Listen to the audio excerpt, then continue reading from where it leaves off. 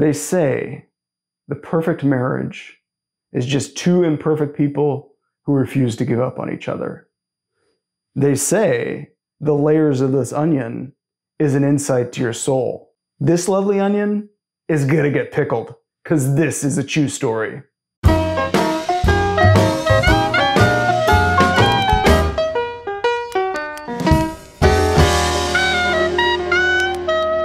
I cry at weddings. I cry cutting onions. This onion can be pickled. Can I be pickled? Let's have a drink. Yesterday I made this blood orange syrup, and today we're gonna make a cocktail with it. And usually I follow my cocktail recipes with a golden rule of cocktails, which is two parts alcohol, one part simple syrup, and one part bitter. So in this cocktail shaker, I've got some ice. We're going to add two parts gin.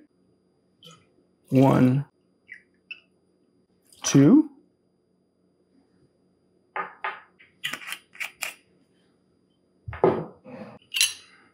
One part blood orange syrup. I can give you that recipe in the description. And the juice of one lime.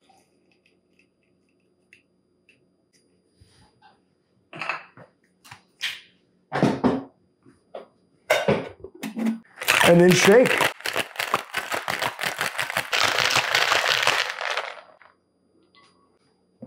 And then double strain into a cocktail glass. Nice color.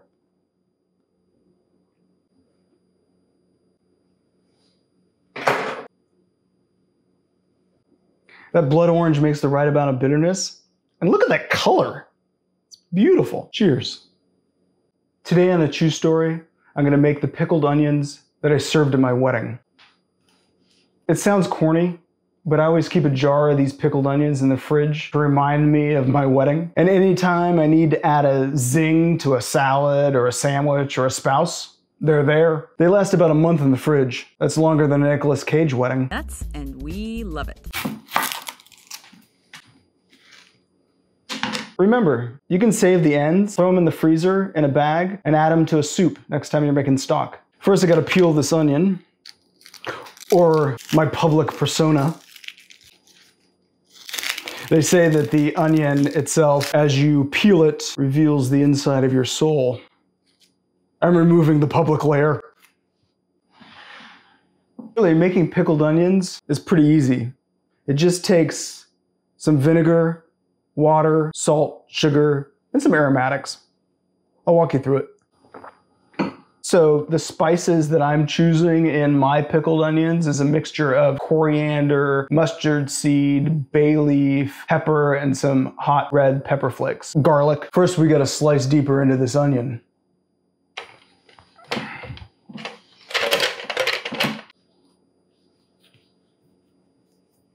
It's a cut glove. When slicing these onions, I usually use about an eighth of an inch. Too thin, they just disintegrate in the pickling liquid. Too thick, and it's just too much onion. And that's about this thickness. Really, the idea of romantic love is a construct of the 20th century. Prior to that, marriages were tied up in property rights and land grants and ways to keep the neighboring village from attacking you. Even our ability to become attached to another person is a relatively new experience, evolutionarily, occurring somewhere between an amoeba and Rick Astley. Towards the end, when it starts to get dangerous, I use the cut guard. Put these onions in a 16 ounce jar or some container that's gonna fit an onion. Very few species on our planet pair bond. Only 3 to 5% of mammals do out of the 5,000 species of mammal out there. Other animals that we share pair bonding with the male prairie vole, black vultures, and the shingleback skink. And only one of those on that list is a mammal taxonomy. Again, these scraps. I'm losing it. Again, these scraps, you don't need to put them in. You can uh, add them to your soup stock. The next step is to fill this container with water to measure out. So I filled this container with water and now I'm going to pour it out to measure.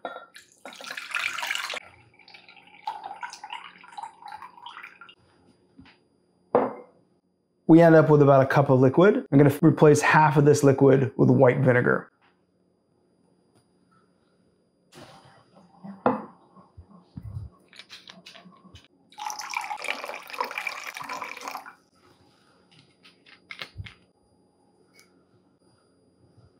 As humans, we evolved this capacity to love as a mechanism of survival. You know, I'll watch your baby while you hunt for saber-toothed tigers. Okay, we've got our water and vinegar, so I'm going to put that into our pan here. For every cup of liquid, I add a little less than a tablespoon of salt and a little less than a tablespoon of sugar. So we've got a tablespoon of salt, a tablespoon of sugar, tablespoon of coriander, one bay leaf, a tablespoon of peppercorns, a tablespoon of mustard seed, about a half a teaspoon of red pepper flakes, and a couple cloves of garlic. Now we're going to set this on the stove to dissolve the salt and sugar and let the flavors mingle for about a two minute simmer.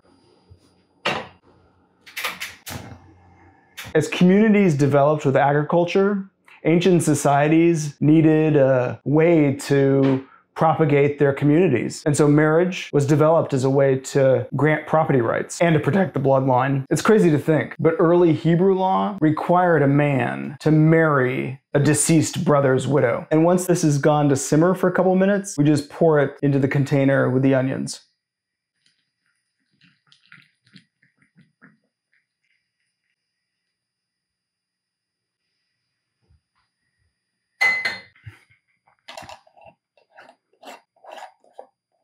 And then I just put a lid on it and let it cool to room temperature before putting it in the fridge. Over the next few days, the flavors of the onions are going to mingle a little bit and they'll last in the fridge for about a month.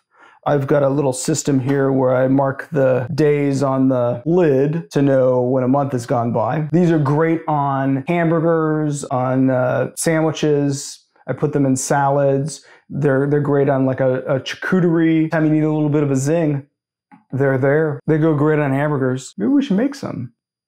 It's burger time. Today we're gonna make a smash burger. We're making a double stack.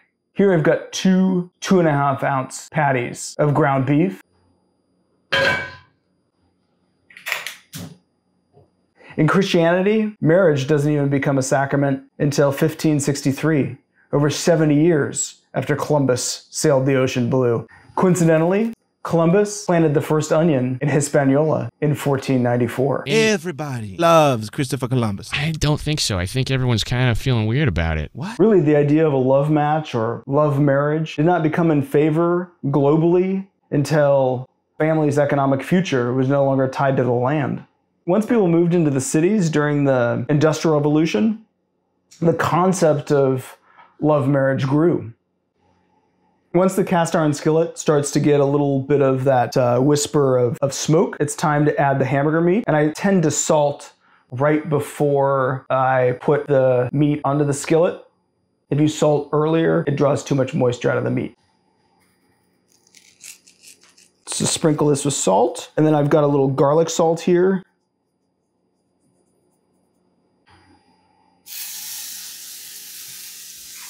And then once it comes into contact with the pan, we're gonna smash it down.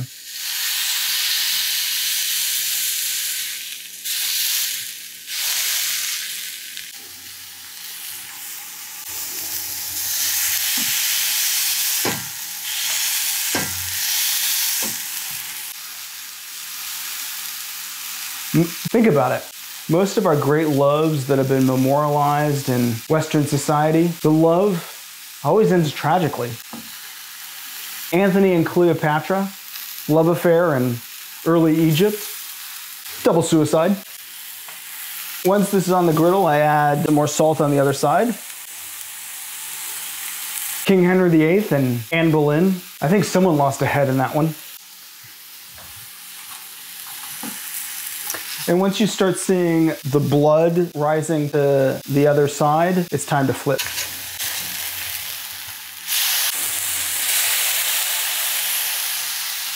And you want that nice sort of crust on top.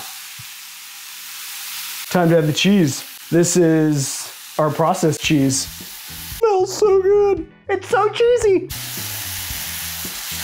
And then I just cover to get that cheese to melt. Think about it. Romeo and Juliet, suicide, all of them. They're all telling us that love marriage and love matches will end in tragedy. And these stories, early love stories, really don't change until the industrial age when you start getting happily ever after.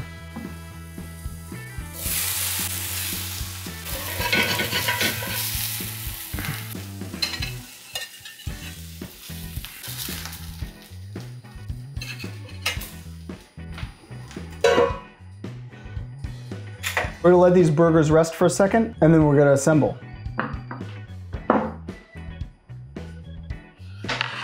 Two is always stronger than one, just like my patties. Prior to that, our focus was simply on survival. Ain't got time for love, but the drive for love is biological for us all. Some buns. On to the assembly. I don't know how you assemble your burgers. Let me know. I'm a mayonnaise guy. Sometimes I put a little butter on the bun beforehand. You only live once. Winston Churchill, the man who got the United Kingdom through World War II, British Army officer and historian and writer and artist, said his most brilliant achievement was the ability to persuade his wife to marry him. Then again, Winston Churchill also said, When I was younger, I made a rule never to take a strong drink before lunch. It is now my rule not to do it before breakfast. There's something to be said about that. So, really, this idea of the love match and happily ever after is a construct. We know, even with the best marriages, that times can be messy. Some of our pickled onions. Romantic love between two people is tough sometimes. It takes a lot of compromise. Luckily, I don't have to compromise on my burgers. No, that's a burger. Let's have a taste. oh my god, this thing's huge. I don't even think I can get my mouth on it. All right, so it's here. Here we go.